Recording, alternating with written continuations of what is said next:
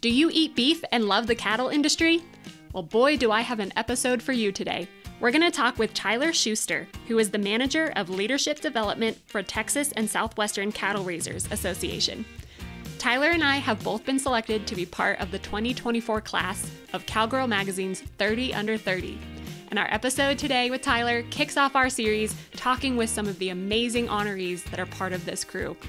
Can't wait for this conversation. And as you know, in this podcast, we go beyond the saddle as we explore professional careers across the equine industry. I'm your host, Katie Kleinbell. Let's tack up and head out.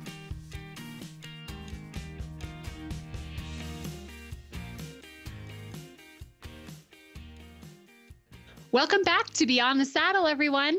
I've got an exciting friend here today that's going to kick off a brand new series on Beyond the Saddle. We're going to be interviewing the 2024 class of Cowgirl Magazine's 30 Under 30. I am so honored to be part of that group, and there are so many amazing women with fabulous careers, so much gumption, and just great stories to tell. And I have one of them with me here today to kick us off, and that is Tyler Schuster. So, Tyler, I'm going to give you the floor. Please welcome to the podcast and tell us what you do. Let's talk about your career and let's dive in. Yeah, well, first off, thank you so much for having me as a fellow podcaster. It's always fun to be on the other side of a podcast and as the guest.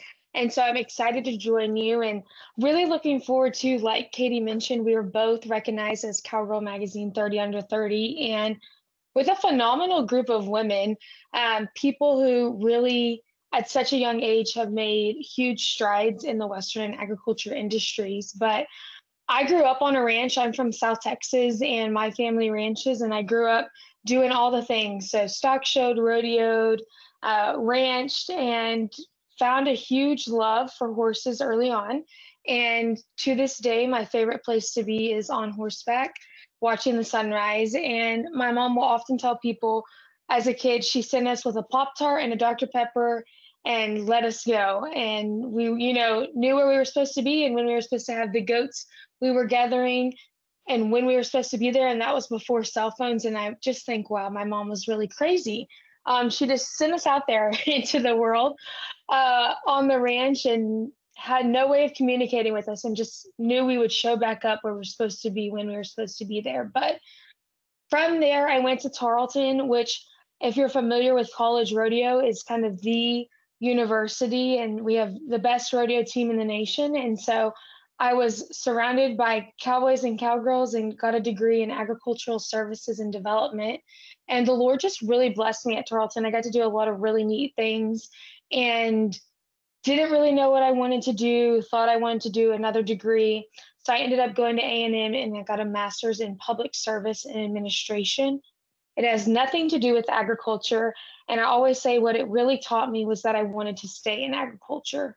Uh, people outside our industry just weren't home for me and I wanted to be around people like-minded and who carried the same values I had. And so between my first and second year of grad school, I had to do an internship and TSCRA, which is Texas and Southwestern Cattle Raisers Association, posted that they were starting their internship program back up. So I applied, I was selected, and they haven't been able to get rid of me and I haven't been able to get rid of them yet.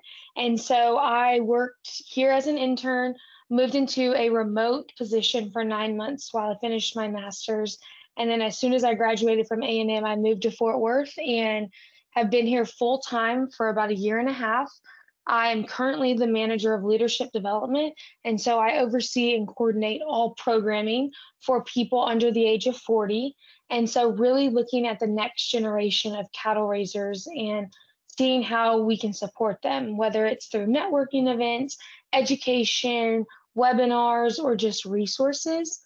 And so, it's fun, it keeps me busy. I, I like to stay on the road. And when I'm not in the office or on the road for work, I'm typically on the ranch.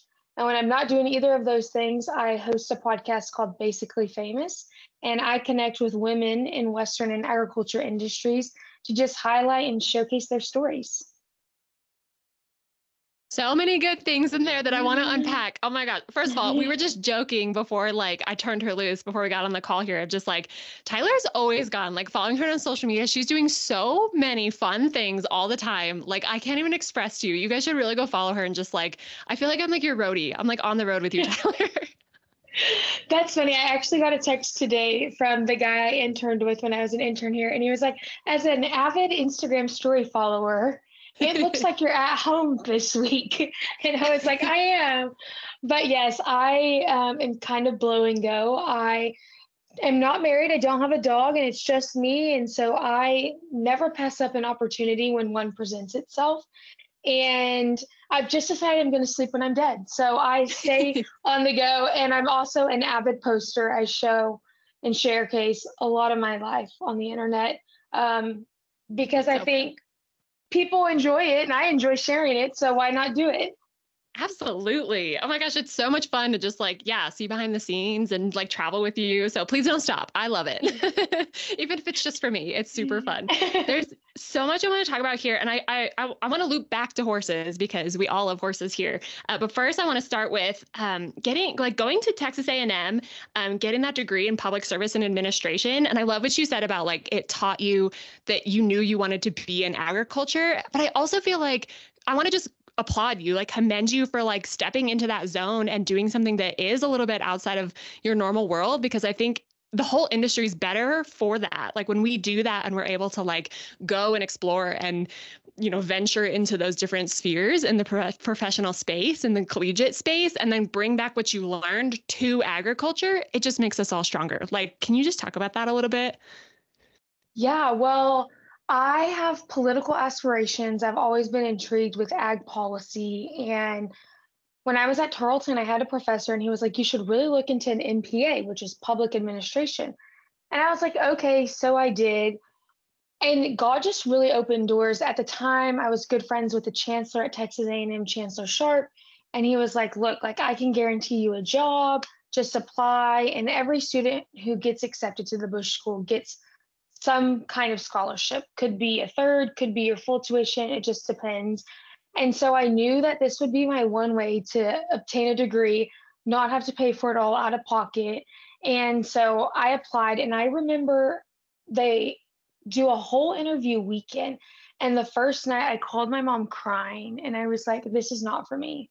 Like, this is terrible why did I even think I could go here? And my mom was like, Tyler, they're just trying to scare you. Like they're sorting out the week. Like, you're better than this. Come on. And I was like, whatever, Donna, you know, like whatever you say, mom. and so, um, but I didn't have a plan B. And so I got in, I was like, okay, well, I guess I'm going to go. And, um, it was the hardest thing I've done yet. I won't say in my life because I hope I have a lot of life left to live. but it really challenged me to think in a different aspect. It was a ton of reading and writing, and I love to read. I hate to write. Give me a microphone any day of the week before I have to type up something.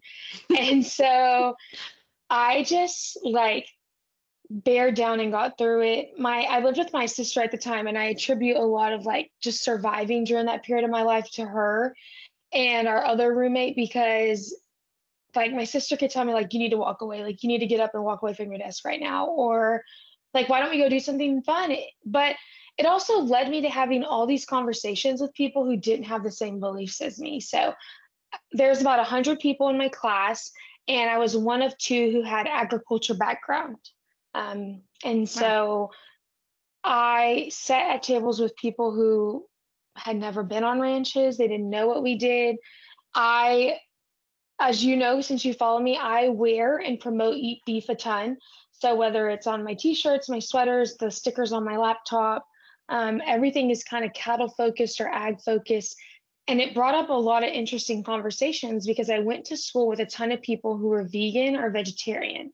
Mm. And so then we got to talk about how they formed that belief and why I thought, you know, beef was a great source of protein. And so it just led me to really kind of seeing the world from a consumer's perspective. I had always been in agriculture. I lived in a rural community growing up. I went to Tarleton. It's very ag oriented. I studied ag. everyone was basically a producer.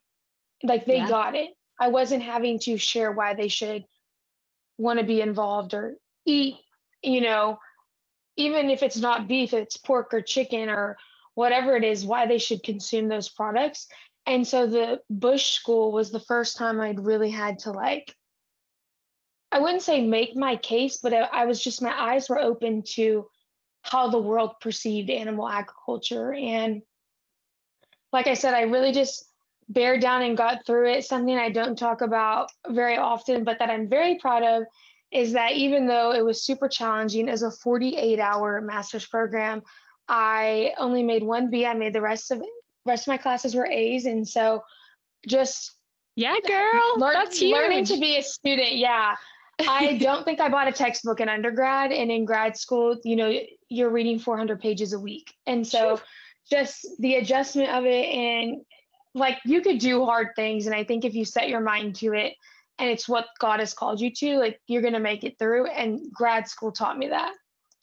Oh my gosh, there's so much there. Just the challenge alone, it says a lot about your character, but it also says a lot about our industry too. And I think there's a good nugget there to kind of take away of, you know, we do sort of get comfortable whether you're in the ag space or like even in the smaller like equine space, right? Like we're surrounded so often by our peers, which are wonderful, delightful, amazing human beings. And I, you know, we we feel at home here, but it is so good for all of us to like step outside of our comfort zone and have to like quote unquote defend your convictions, right? Right and help paint the picture of your lifestyle and you know why this speaks to your soul and you know why why it is what it is for our country and our planet and our belief system etc so i really applaud you for having to had like walk through that that hard time because i think you're better for it. I think we're all better for it. Well and i always say i mean it took me getting away to realize what i had. Like you said like we've just surround ourselves with the same people who do the same thing and we kind of take for granted the awesome opportunity we have. And when you're away from it you really step back and you're like wow. This was here all along and i didn't realize it Yes. Oh my gosh, so good. Okay.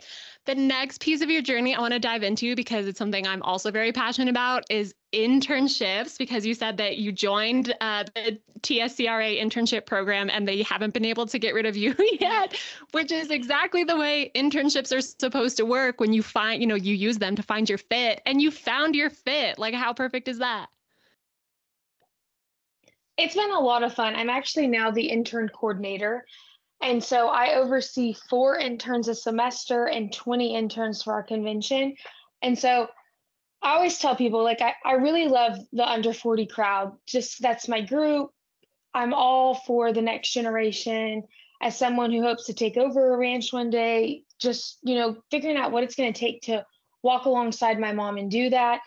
But if I had to pick like one age group that it just, my, I feel so called to, it's college kids there's just something about helping someone realize like what they want to do or what they're passionate about or why they do what they do. And so, yeah, I started here as an intern, and our internship is really unique. We're a small organization, but we have 28,000 members. And so we do everything from events, education to membership to communication. And so my interns, and when I was an intern, it was the same way. It was like, what do you want to do? Okay, here's task in that realm. Go for it. And they kind of just turned us loose. And they might have turned us a little too loose, if I'm being honest. I think about like one of the things three of us used to go to the dry cleaners. Like it takes one person to go to the dry cleaners. but we had so much fun and it was really a safe space to learn and to ask questions. And I always hope wherever I'm at in life, people feel that way if they're interning or even just working with me. But I think internships, whether they're a good or bad experience, they showed you what you liked or what you didn't like. You could come intern with us and be like, hey, working for an association is not for me. Great. Well, you took something away from it. Or totally. you could come work here and you could say, oh my gosh, I really love beef education. I could see myself doing that. Like so great. Now I'm going to connect you with people who are in that industry and in that specific part of the industry. And I'm going to let you connect and, and meet them. And so I just, I I think you should always say yes to an opportunity and you should never be closed off to one. And whether the internship is a semester long, a week long, or three days long, um, you know, while you're in college and you're you're living broke, like it's okay if they don't pay you as long as they'll house you and feed you. Like go do it is how I feel. Uh, now in the summer, that's a little harder if you're having to pay rent somewhere and move somewhere new. But like for our convention, we offer a week long internship. Um, and if you can just get yourself here, like I'm going to take care of you once you get here. And you're going to get to meet the who's who in the industry because over 4,000 people are coming. And so it's just a way that you're going to figure out what you like, what you don't like, but really network. And and I told you this, I love to network. And I think so many times we're told you need to network, but we're never really told how to network. And so I always try to use my position now to help people do that and connect them with people because when you first start it's awkward and it's hard to have conversation but if you don't ever try you're never going to build a skill set to where you feel like you're a great networker Yes, it's so true. And for those of you who are like listening to this and going, ugh, networking, no, ew, you know, like, no, I, I don't want it. That makes me uncomfortable. Like, lean into it because the sooner you start and just like accept that, like, it is going to feel uncomfortable and the more practice you have doing it, the easier it's going to be for you. You have no idea what doors it's going to open just being willing to have conversations with people. And like Tyler said, just saying yes. Like, if you have an opportunity to like try on a career, even if it's for three days in a three day internship opportunity or a three day networking event or a three hour networking event, what's it going to hurt? Like, go try. I think the value that comes from those things is so beyond measure. You know, a lot of people want those paid, those coveted paid internships, which are amazing, but frankly, they're kind of few and far between to find good quality ones. So if you know you're down this path of just exploring, meeting people, getting more comfortable in your skin, say yes. You know, that's what I would encourage y'all to do. I think Tyler's on that train. For sure. Well, and I think when you think of networking, everyone thinks of people in suits in this room and it's awkward and it's stuffy. And that's just not what networking looks like in our industry. Um, I think obviously there's in person events and there's a way to network there, but I think a huge component of people's success nowadays is how they network online and, and utilizing online platforms. I'm a part of a group, and a girl just posted like she really wanted to connect with people who had jobs in the industry. And I always try to comment on things like that and say, hey, I'm happy to chat, you know, shoot me a message. And so she called me and we had a 30 minute conversation about what I do. Um, and all that required of her was to pick up the phone and call me, you know, and I'm always willing and open to do that. And so don't be so close minded and have this single set vision of what networking is that it stresses you out and it makes your hands get clammy because in the every day you're networking. I always say every day you're interviewing for the next day. And so you never know who you'll meet and what it'll lead to. Oh my gosh, that's so good. I'm going to repeat that because it's so good. Every day you're networking for the next day, right? You're interviewing for your next day. I love that so much. And you're so right to look at it as your online community matters so much, right? And maybe it's more comfortable, right? Maybe that's a more comfortable space for you to start in anyway, right? Maybe it's not LinkedIn, but maybe it is. Maybe it's just Instagram, right? Like maybe it's those Facebook groups. Maybe it's, you know, those people you've identified in the roles that maybe interest you or you have aspirations to kind of work towards those roles engage with them. I can't tell you how many times I have folks reach out to me on LinkedIn and they're just fascinated by the equine network and what I do. And they're just like, hey, can would you be open to just like jumping on, you know, a Zoom call with me for 15 minutes and letting me pick your brain? I do that pretty regularly as often as I can because I know how hard it is to get your arms around what it looks like. And it's such a great experience to just, you know, chat. Let's just talk. It is. And sometimes like this sounds bad, but like sometimes being a keyboard warrior is easier than in person. and True. like when we think of keyboard warriors, we think of bullying. Like, don't be bullying people. But no, no. I think it's super easy to just comment like congrats or you know, if you shared an article and I read it, one of my takeaways from it, or if you were on a podcast and you shared it saying like, oh, I can't wait to listen to this. You know, that's mm-hmm. those are easy ways to connect with people and just build some conversation. And always say I'm a poster, but when you're a poster, your name and your picture are continually coming up on someone's feed. And so you're constantly on their mind and they've been able to put a name with a face. Because so many times when we network in person, it's really hard to remember everybody's name. But if you go connect with them, LinkedIn is just what I reference because it's the professional site. But when you go back and you connect with them on that platform and then they see what you're doing, you know, then they're like, okay, I remember talking to her. Okay, I see what she's doing. I'm a little interested in that. Maybe we should go get coffee, or I want to pick her brain for 15 minutes over Zoom, you know, and things just build based on that. Oh my gosh, so true. And then you're going to have them on your podcast and it's going to be full circle. Let's talk about your podcast. Basically mm-hmm. Famous is the name of your podcast. What's like give us like the your elevator pitch cuz uh I'm if people haven't tuned in they need to. It's so much fun. Yes. So basically, Famous is a podcast where I sit down with women in the Western and agriculture industries and just share their stories. Um, there, there are a few guys who've made it on Basically Famous podcast, but um, I really try to just highlight women in our industry. I think it's cool to be a woman in ag and being able to talk to people who, like myself, you know, I ranch with my family, but I also have a full time job and showcasing what that looks like because that's so common in our industry.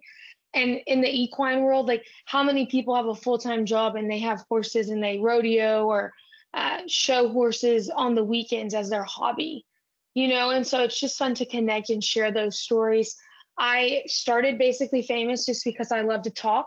If if you haven't picked that up by this point, um, I'm a big talker and I actually started it with my sister. It was like just fun. And we interviewed just like people in our life who were basically famous. And then I moved out and we just kind of, she was like, I'm good. And I was like, yep, I'm good without you too, in a nice way. And took over. And so I've been doing it by myself for over a year. And um, I primarily just do women in ag, but I have over 60 episodes. Um, I launch episodes almost every Tuesday. I take a month off around Christmas time, and then I take June and July off just because I'm so busy in the summer and it's so hot that I like can't even think straight in Texas. So, um, but basically, famous is just my passion project. It's for fun. It, it's what I enjoy doing and what I spend my free time doing. Oh my gosh, it's it's so fun. And I, I love that there's just been a few men on there because it is cool to be a woman in agriculture.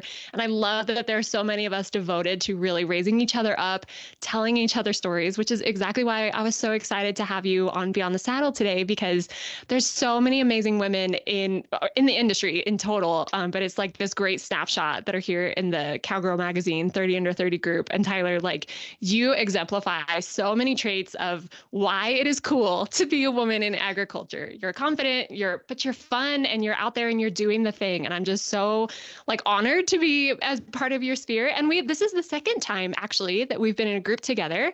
Um, Tyler and I were also selected to be part of of the West next era of ag um, with Jesse and Sarah, and that took place like last spring. Um, so our journeys have been have crossed now in a couple of places. So it's so fun to have you here to tell your story and talk about all the cool stuff that you do. Well, and I'm looking forward to meeting you in person for for real. Like we've only met virtually. Um, so I'm looking forward to meeting you in person in March. And it's just I think it's so cool that I've I've got a group of women in my life and I've got some men too, but you know, women who are really for building a longer table and not a taller fence and who we can cheer each other on and support each other and you know when when you see something you, that makes you think of me you send it to me or i'd say you know like and we're having conversation and we're presenting opportunities to each other. And there's so many times you know i see someone post a job and i'm like that is not for me but i know the perfect person for that. And i'm sending it to them and i'm like hey i know who's hiring. Like let me put in a good word and just i mean i think what i've been called to do is the coolest thing ever and to get to do it alongside some amazing women like yourself makes it even better Oh, it's such a good place to be. And it's so much fun and just be in this chapter of our lives of like saying yes and like, yeah, let's go for it. And we're going to have so much fun in Texas at the Cowgirl Empowered Gala. It's going to be great. Um, I want to kind of wrap it back up where we started, and that's with horses. Um, everybody who listens to this podcast in some way, shape, or form is connected to the equine industry.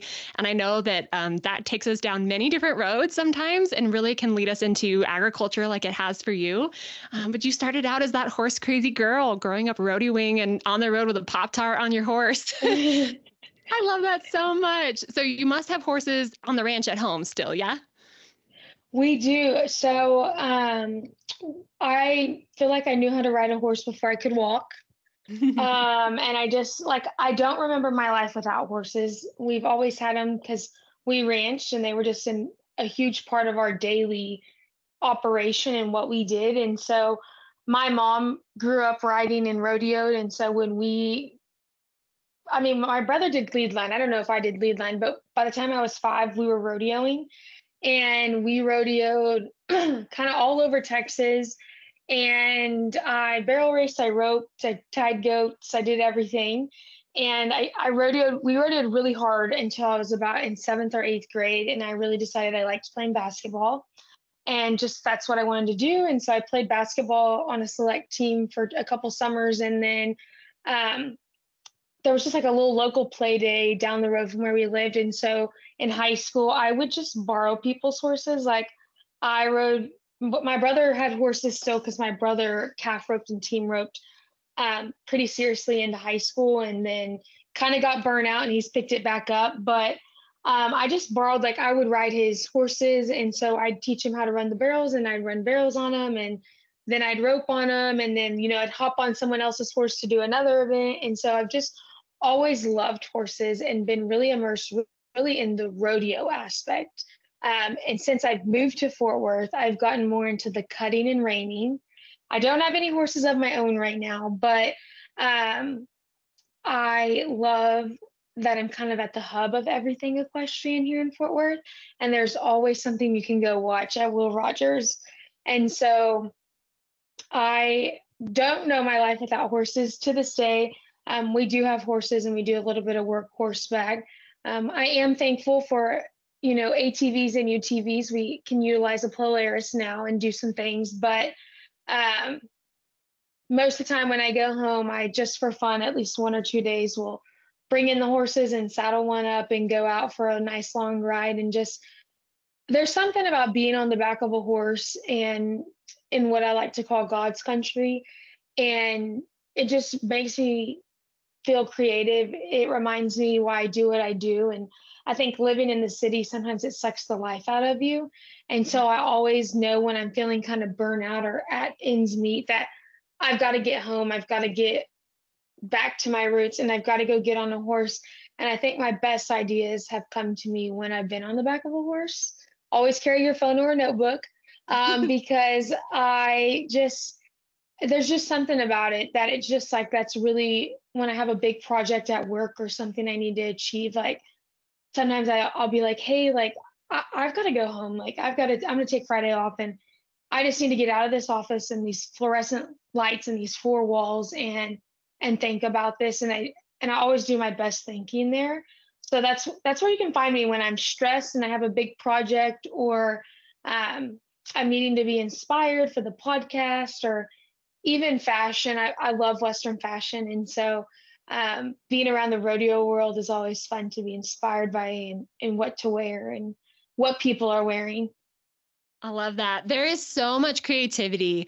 I think it's like that release. I don't know, like when you have that connection with a horse and like just something about your soul and their soul and being outside where it's good for your soul together, it's it's really kind of undescribable but i think you did a good job of just really like pinpointing the things that like fulfill you and help you like drive your journey forward. And like being on the back of a horse man if you're feeling like overwhelmed or you just are stuck in a rut i love that your go-to is to get on a horse and let your horse you know kind of guide you and, and be the way forward and inspire you in all the ways. There's just something magical about them. I don't know. It sounds so crazy but when you're a crazy horse girl we all get it. Well and i mean i just like I said, I don't remember my life without horses.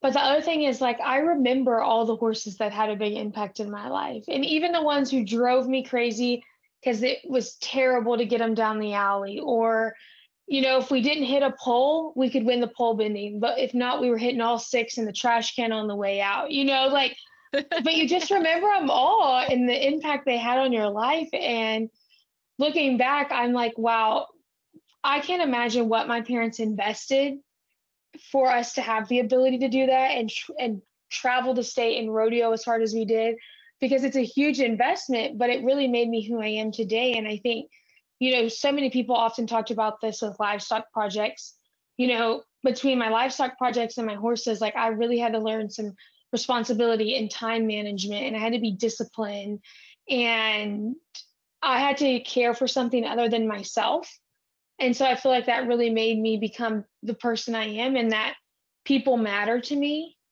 Mm-hmm. And and I learned that all through an animal.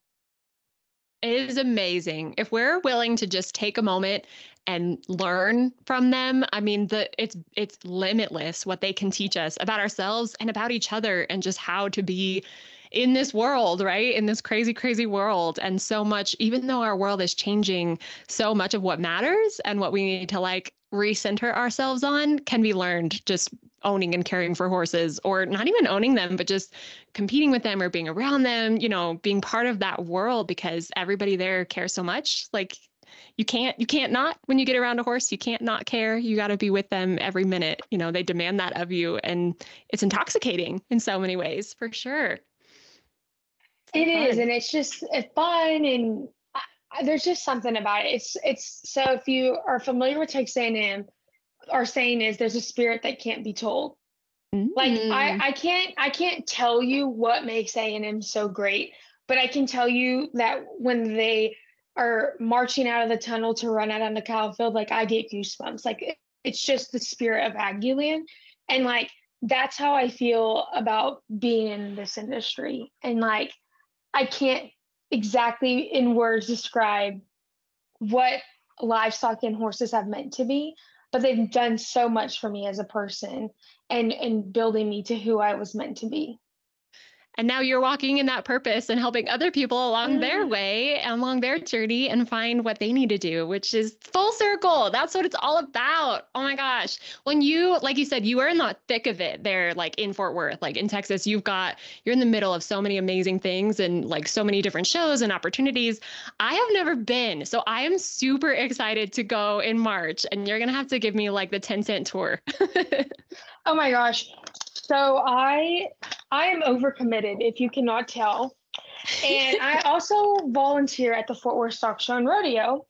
And so I have so we are there are still six performances left. And I have been to 11 rodeo performances. I have worked a couple shifts as a volunteer greeting equine contestants. Anyway, I just love Fort Worth and I love like cowboy is cool here and and the stockyards and just the people. And I, I lived in Stephenville and it was fun because um, Stephenville is the cowboy capital of the world. And if you are a pro rodeo athlete you either live in Stephenville or you frequent Stephenville. And mm-hmm. so it's just was so fun like in college to I literally Haven Meged won the world in 2019. And two weeks later, we were partners for a class project. And I remember being like, why did you come back to school? Like, you're a world champion. Like, you did not have to do that, you know? And so I was just surrounded by people like that. And then growing up rodeoing, so many of my friends continued to do that. And so I have Hailey Kinsel's a great friend of mine. And, and so getting to cheer her on and Jimmy Smith and people like that that I grew up with and now can cheer on. And then, you know, we either lived in Stephenville at the same time where they would come through and I'd get to see them. And so it's just things like that. And the horse world has just brought it all together. And like I said in the beginning, it's just so fun and hard to describe. Yeah. Oh my gosh. Well, I'm so glad that you came on to like talk to us about your journey and inspire us along the way too. You had some amazing people in your world and you're just walking down this incredible path. So, anybody who um, hasn't listened to her podcast, go check out Basically Famous. Go follow Tyler Schuster. Go get go follow her on Instagram and all the things because you can be like her little roadie and on the road with her. And you can catch us both as we head to Fort Worth um, for the Cowgirl Empowered Gala for Cowgirl Magazine's 30 Under 30 here in just a few weeks. And I just can't wait to meet you in person, Tyler. It's going to be so fun. I am so excited and I'm so thankful that you invited me to join you on the podcast. And I can't wait to have you on Basically Famous. Yay, let's do it.